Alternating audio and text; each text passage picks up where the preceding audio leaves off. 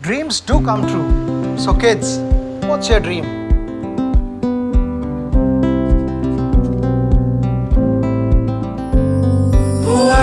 Are these new? So bright, colorful, and new. Sometimes they feel so hard, but you don't wanna give up.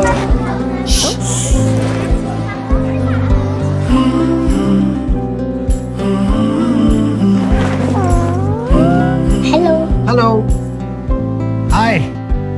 You can see my dream? Of course, because I too had a dream. Some days I dreamt of becoming a tennis player, and some days a cricketer. To make their dreams real tomorrow, you need financial planning today. Choose from a range of child plans from Ageas Federal Life Insurance and help your child dream big.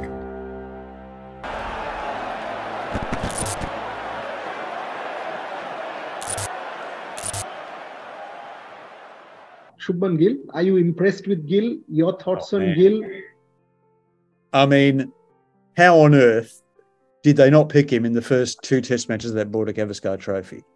I mean, that was just like, I still struggle to believe it. I mean, he's an amazing player. He's a once in a generation player. I love watching him. And the fact that he has so successfully assimilated T20 when he has such, when his technique is so evolved for long term batting just shows, I mean, he's a, he's a, he is the incarnation of 21st century batsmanship.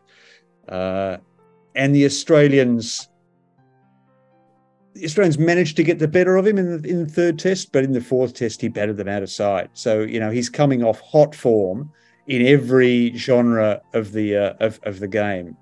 Um, you know, he would he would be a player who Australia would still be struggling to uh, to, to work out. You know, where to where best to bowl the Shubman Gill.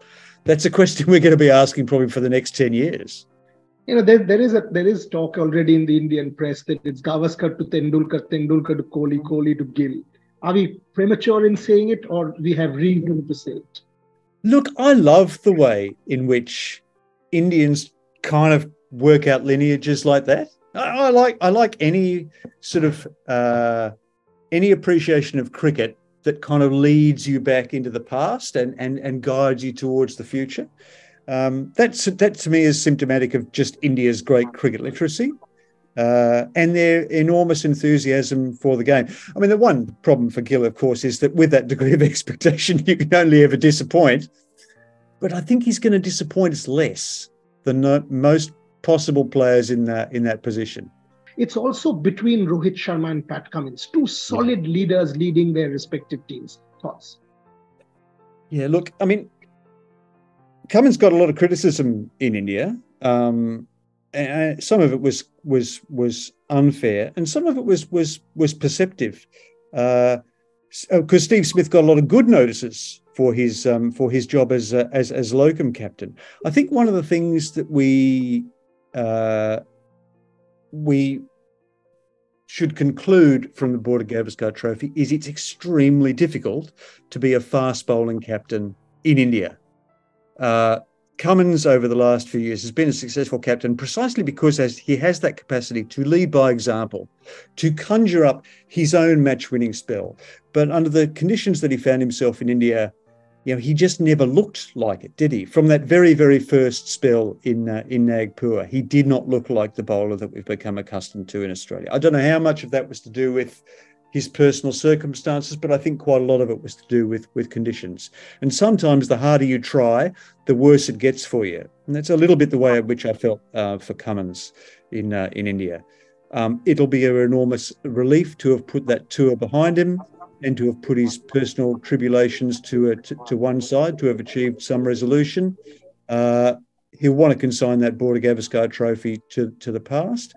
In the end, it didn't work out as badly for Australia as it seemed halfway through that tour. So there's there's that degree of, uh, of solace to him. Uh, he's got a hell of a lot of cricket ahead of him. You know, six tests in this period of time in England for a fast bowler as captain. That is an absolutely enormous workload. And you can't really posit the possibility of rotating him in an attack. You know, he is going to be the uh, the ever present. But at the moment, he's fresh. He's had an opportunity to get away from the game, to to put those things to one side.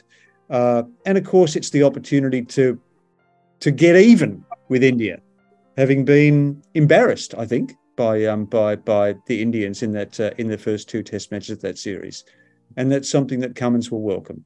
Steve Smith and Marnus Labuschagne, huge records, huge reputation. These two will be again the pivot of the Australian batting lineup. Yeah, yeah. Well, Labuschagne's coming off hot form in the county championship.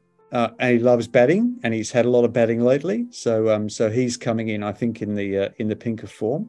Smith actually impressed me more in this Border Gavaskar Trophy than he did in the previous one in 2017. He did a great job as captain in 2017, but here he didn't get a lot of runs. He didn't get a 50, and yet he still looked positive. He still looked excited.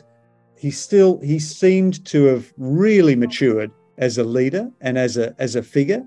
I thought he was he loved the challenge of uh, of of taking on the captaincy. I mean, in a way, uh, yeah, a, a, a, temporary captain. Uh, it's a little bit like, um, you know, you get to play with someone else's kids.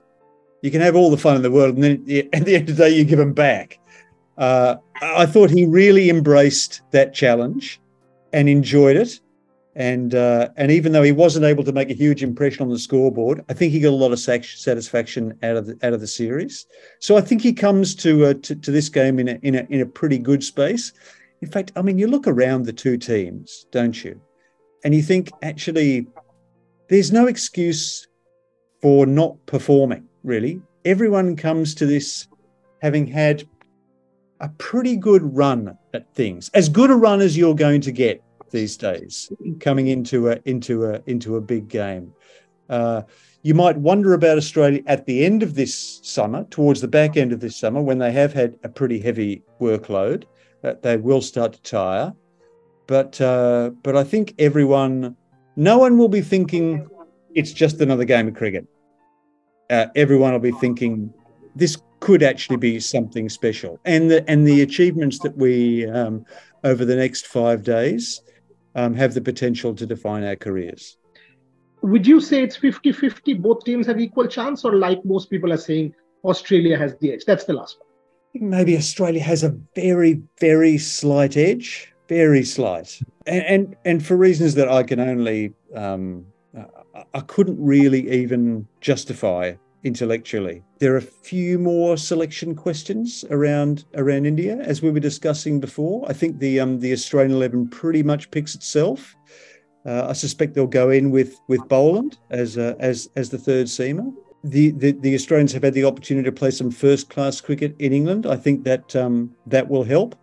Uh, I think they're probably a little bit more familiar with the conditions in uh, in in England, but really, I mean, Virat Kohli makes up his own rules. Ashwin and uh, and Jadeja were so formidable in India that they will continue to have a bit of an aura uh, around them, even though Jadeja's overseas record isn't um, isn't particularly remarkable. I think Ashwin just loves occasions like this. So, I mean, factors like the toss could make a difference here factors like the weather on the first day could uh, could could make a difference. Uh, it's all very we're, we're predicting way way out in, in in some ways. You know we've we've got days to go. Um, so you know, ask me on match morning, and I might think completely differently. But that's part of the charm. That's part of the charm. That's why we love cricket. That's why we love Test match cricket in particular. Thank you very much. Pleasure and maybe at the end of the at the end of the contest, we can we can touch base once more and, and review it as to how it went.